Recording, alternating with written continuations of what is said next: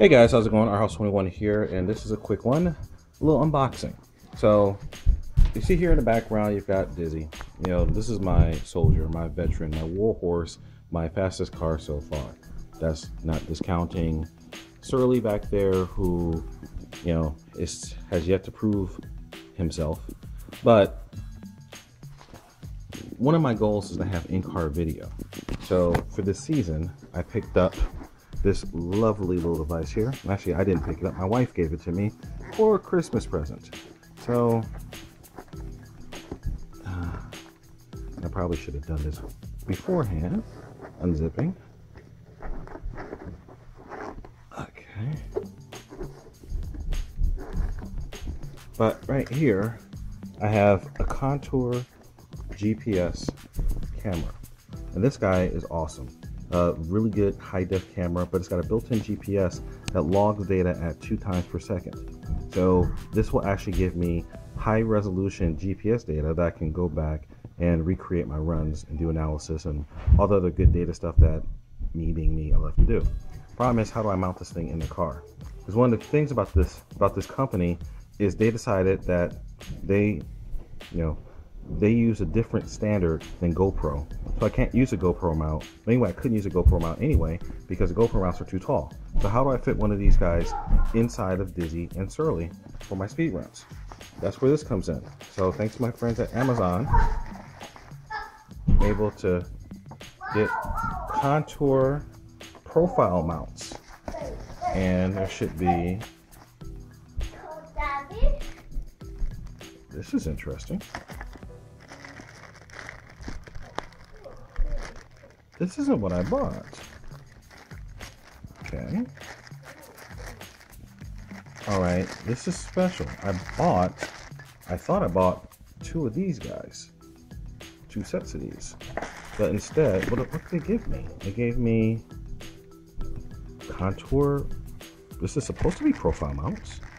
Okay, they look different. Okay, this, oh, wait a second. Yeah, there are two more inside of here but you've also got this funky bracket. Okay, so let me go ahead and open this guy up and see what else they gave me. So it looks like I got more than I more than I bargained for. Okay, so let's see what we got here. Four, So- five, six, seven, What is this? eight, nine, So I've got these little guys. Okay, so this is kind of funky because you can see here that these in this pack it comes with a left profile on the right profile. And what this is for is if you are mounting these on a helmet, for example, you could put this on the left side or right side of the helmet, and it actually matches the profile of the camera, which is kind of a cute thing. And you see right here, it's like the mount is a baby version of the camera that's that's cute, not necessarily necessary. But here it looks like I've gotten again another left and right. Are these both the same? Nope. So I have two sets of left and right. But then they also threw in this extra random little metal bracket here. So let me look at this guy. So this looks like it gives me a mounting pad for one of these guys. But then I've got this little arm. So I guess if I wanted to attach this to something, so I, I guess I need to figure out what exactly this is. It gave more than what I intended for. But anyway, so the idea with these guys is I just take one that's already out of the package. I take it and I secure it to the center brace that's already on Surly and on Dizzy, like that. So I'm probably going to have to bolt this bad boy down to there.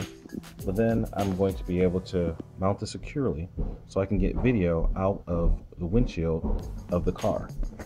So, and again, you can see that's part of the reason why I left the windscreens clear for Dizzy and for Surly. So I can get these in-car camera systems mounted and, you know, be able to really see some good stuff. All right, guys. So just another idea for you. Um, rhouse21 signing out. Remember, like, comment, subscribe. Stay stay tuned to the channel so you see more interesting in-car footage coming through. Uh, with any luck, I'll be out there doing testing runs here very shortly. and um, and we'll start to see how all this stuff fits together. All right, guys. Remember to like, comment, subscribe. Remember the mantra: fly, fix, fly, break it, fix it, and do it all over again. rhouse21 signing out. Peace.